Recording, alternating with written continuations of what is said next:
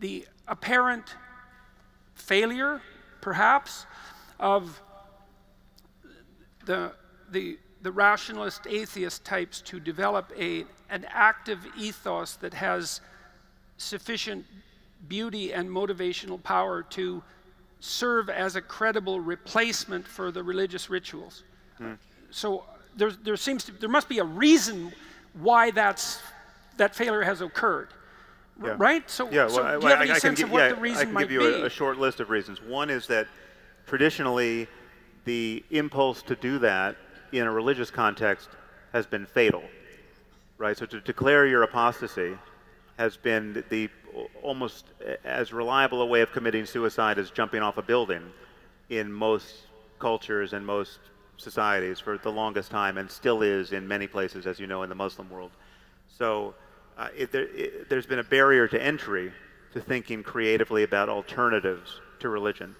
And so much of atheism and secularism is just a, a, a, a pitched battle against the, the eroding power of religion. I mean, when, when religion really has its power, right, we know what it's like. I mean, the, the, you know, they, again, I think we spoke about this at one point, you know, the, just the, the moment that it makes this most salient is you know, Galileo being shown the instruments of torture by men who wouldn't look through his telescope right? I mean, that's, that was the point of contact between untrammeled human rationality and the, the womb that bore it, right? The, the religious awe at, the beauty of the heavens, right? So the moment a person like Galileo stepped a little too far, and to connect this to astrology again, Galileo was a court astrologer, right? I mean, so they, they, were there was a con, there was a point of contact between astronomy and astrology at that point. So uh, we're still under the shadow of that kind of dogmatism and oppression in much of the world.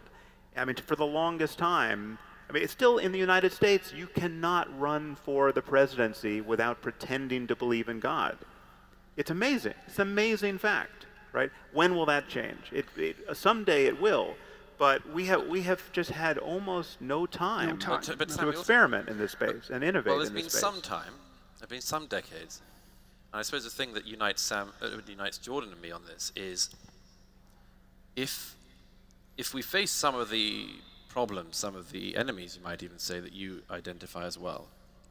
And the question is whether you should face them in the midst of an experiment that may or may not work, i.e., a leap into pure rationality, or whether you might decide it's worth, among other things, taking some of the versions of things that you've had that have been of worth in your past and using them where they're useful.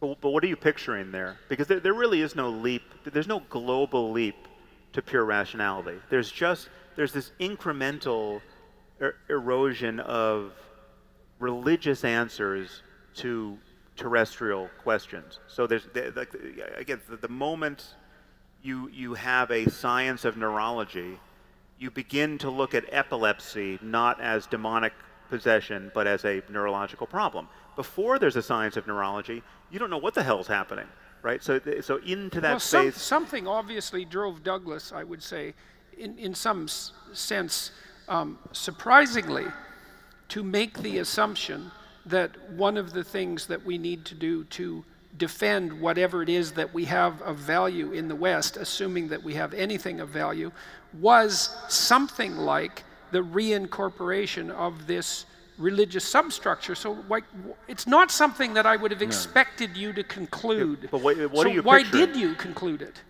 Well, partly for the reason I just suggested, um, that the leap into pure rationality there's no evidence yet that it's going to work or it's going to be enough or enough people are going to be able to partake but, in but, it. But, but, give me the and precise place where you're worried that it's going to fail and what can you, what are you imagining well, doing? Well, you think it's failing you, now. Yeah, let me give you one example. Yeah.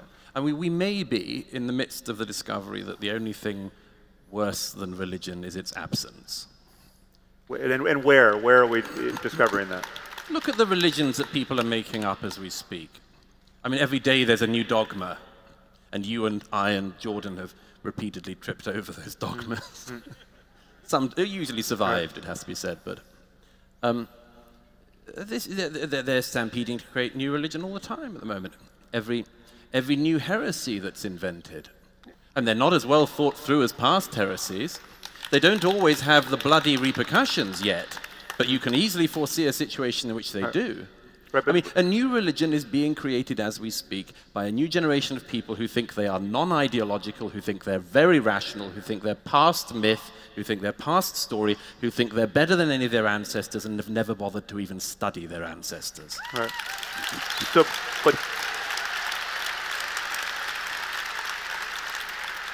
can't you say that dogmatism is the problem? The, the generic problem here is dogmatism, a firm belief uh, in the absence of good argument and good evidence. And absolutely, we can agree that dogmatism of any kind has that danger, or will always have that danger. But the void also has a danger.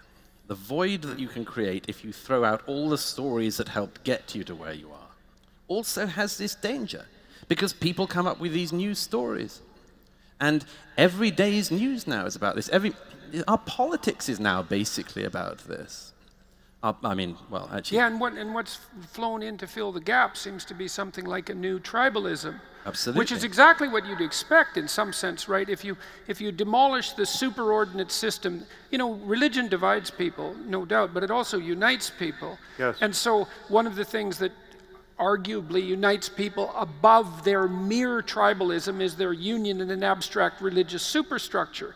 And then if you demolish that, well, then one of the things that does seem to happen is the emergence of a reflexive tribalism because people need a, need a group identity of sorts. And the easiest thing to do seems to be to revert to ethnicity and race and gender and sex, et cetera, et cetera. And then we do end up and have ended up in this situation that Douglas outlines. And, you know, one of the things I think that distinguishes us temperamentally, possibly, maybe because you're a little more on the liberal side and I'm a little more on the conservative side, even temperamentally speaking, is that your fundamental terror is that of fundamentalism, although you also state in the moral landscape that you understand the, the, the perils of nihilism. And I would say my fundamental terror is that of nihilism, even though I'm sensitive to the catastrophes of fundamentalism. But I don't think you do address the problem of the void sufficiently. I, because I don't think that you have anything to offer except, and, and I'm, I'm not trying to minimize your offering. You, you make a case that people should work to alleviate suffering and that we should live in truth, but Jesus, Sam, you can summarize that in two sentences. It doesn't have the potency of, of, the, of the fictional, literary, artistic substructure that seems necessary to make that into something that's, that's a compelling story. Well, so, this is where we might disagree. This could be a fundamental disagreement.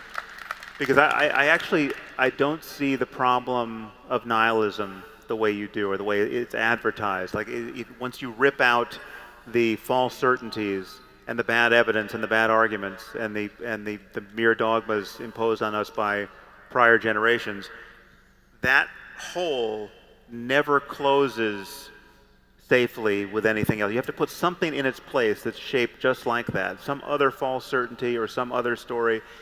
And I simply don't think that's the case. I think there's so many things we outgrow, both individually, uh, you know, in our own childhoods, and culturally, that where th- th- there is no there is no void left. There's no Santa Claus-shaped void that we have to fill with the exact But people same thing. experience, but people certainly experience that. Some people, void. yeah, people. I, I'm not discounting the fact that it is hard to be happy in this world. I mean, we, we are living in a world that seems designed, Okay, so- perfectly designed to frustrate our efforts Okay. to find permanent happiness. So you asked me, you put me on the spot a while back. But let, let me just Yep, but let me just ahead. add add the, my answer to this. I just think that there's the recipe for a good life, or at least, at least uh, a, a, a minimal recipe for a good life. It's not that this is all that's entailed, but this is this is this is certainly necessary, if not sufficient, is to live a life that is increasingly motivated by love and guided by reason. Right? You can't go very far wrong if you are motivated by love and guided by reason. Right? And and the problem is is that Well, uh, okay. Like, well, the first thing I would say about that is, to me, that's a re- recapitulation of the Judeo-Christian ethic, which is that Well- you well, should be guided by love and, except- and use logos to serve that. Except and you got to think you, got to read the fine print on reason. No, Yeah, well, I've I didn't say reason. I said logos because that's the that's something that's deeper than There's reason. there's the Jesus smoggling I yes, was worried about. exactly. Well, yes, yes, definitely. said it would happen. Okay, so